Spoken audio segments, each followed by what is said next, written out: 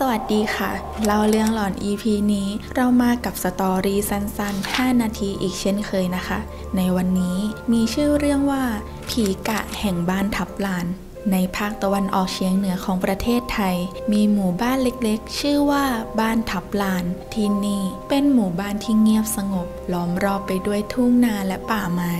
ชาวบ้านส่วนใหญ่มีอาชีพเกษตรกรรม และอยู่กันแบบพึ่งพาอาศัยกัน ความเชื่อเกี่ยวกับพูดผีวิญญาณ ยังคงฝังแน่นในวิถีชีวิตของผู้คนในหมู่บ้าน โดยเฉพาะเรื่องของผีกะ ซึ่งถูกกล่าวขานถึงความอำมหิตและความน่าสะพรึงกลัว เรื่องราวของผีกะเริ่มต้นขึ้นในคืนเดือนมืดเดือนหนึ่ง ที่บ้านของนางคำปุ่น หญิงชราผู้โดดเดี่ยว ซึ่งอาศัยอยู่ปลายหมู่บ้าน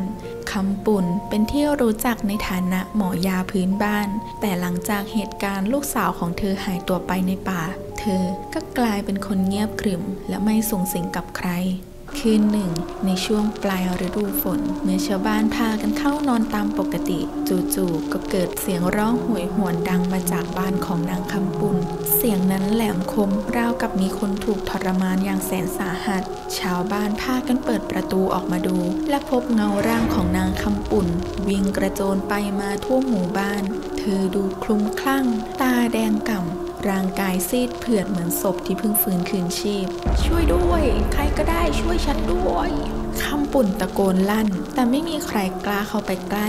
ทุกคนได้แต่ยืนมองด้วยความตกตะลึงและหวาดกลัว เช้าวันต่อมา ชาวบ้านพากันไปที่บ้านของนางคำปุ่น แต่กลับพบเพียงร่างไร้วิญญาณของเธอนอนอยู่กลางบ้าน ในสภาพที่ดูทรมาน บนพื้นมีรอยขีดข่วนและรอยเลือดกระจายไปทั่ว สภาพที่น่าสยดสยองนี้ทำให้ชาวบ้านเชื่อว่า วิญญาณของคำปุ่นได้กลายเป็นผีกะไปแล้ว หลังจากเหตุการณ์คืนนั้น ชาวบ้านบ้านทับลาน เริ่มพบเจอสิ่งผิดปกติ ไม่ว่าจะเป็นเสียงหัวเราะที่น่ากลัวในยามค่ำคืน เสียงฝีเท้าหนักๆ เดินลากไปมารอบบ้าน และบางครั้งก็มีชาวบ้านมองเห็นเงาดำทะมึนของผีกะ ยืนอยู่ที่ปลายเตียงในยามหลับไหล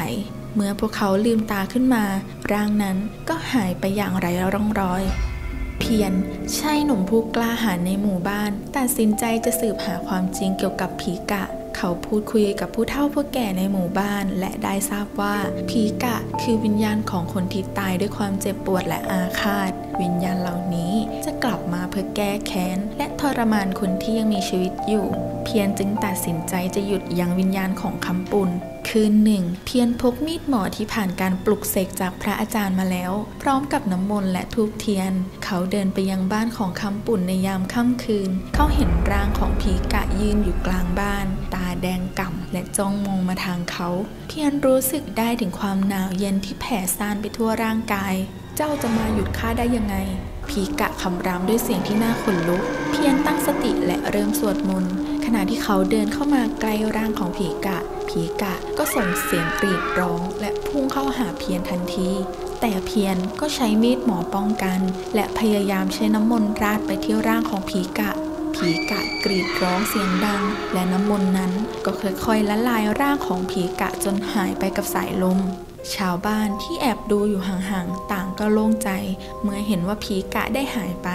เพียรได้กลายเป็นวีรบุรุษของหมู่บ้าน ชาวบ้านพากันทำบุญอุทิศส่วนกุศลให้กับวิญญาณของคำปุนและหวังว่าเธอจะได้ไปสู่สุขติ แม้ว่าเรื่องราวของผีกาจะจบลง แต่ความทรงจำเกี่ยวกับความสยดสยองในคืนนั้น ยังคงฝังใจชาวบ้าน และถูกเล่าขานต่อมา